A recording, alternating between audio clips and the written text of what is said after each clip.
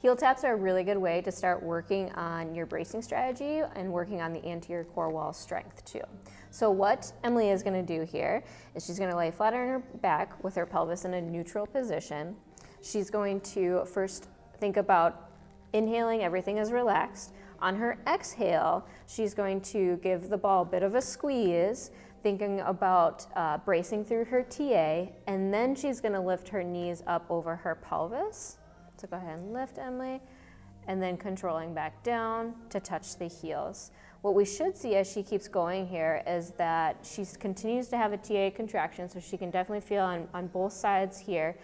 But what we don't want is that as she continues to go, that pressure management system isn't being lost by pushing forward through that anterior wall and getting that, that doming effect. She's doing a great job here. One more lowering and take a break.